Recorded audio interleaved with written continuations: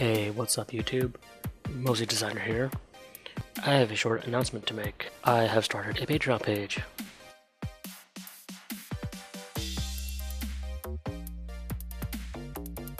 Before I get into the details of the Patreon page, first off I want to say thank you for the growing support here on the channel.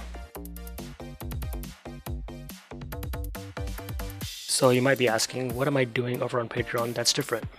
Actually, to be honest, nothing much.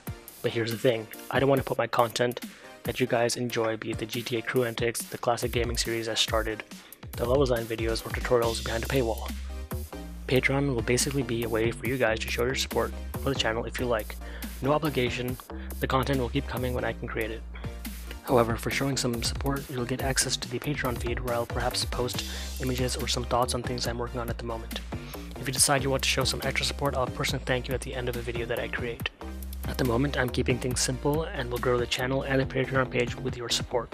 At the end of the day, I do this for fun and for you guys. Not the clicks, not for the views, not for the ads. Hell, we might be using an ad blocker and that's fine, more power to you.